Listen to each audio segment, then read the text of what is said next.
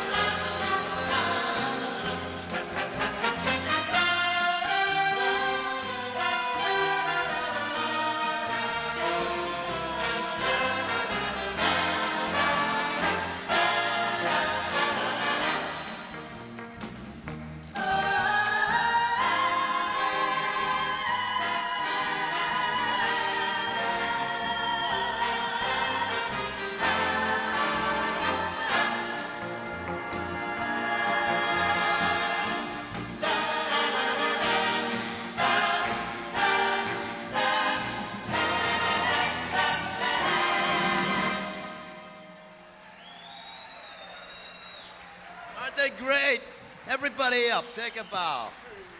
Uh, you know, it's it's late and you're probably tired, but I want to tell you the band is playing great tonight and the singers are singing great. Thank you guys. You're doing a wonderful job. Okay. Hey, here's an here's another one that we sell a gang of records on.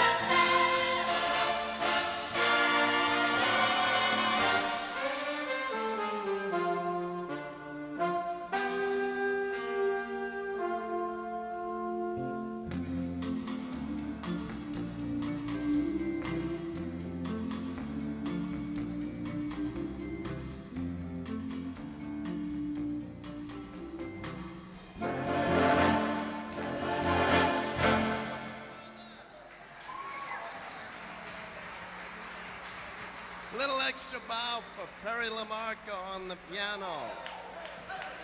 And Stephanie Bennett on the harp.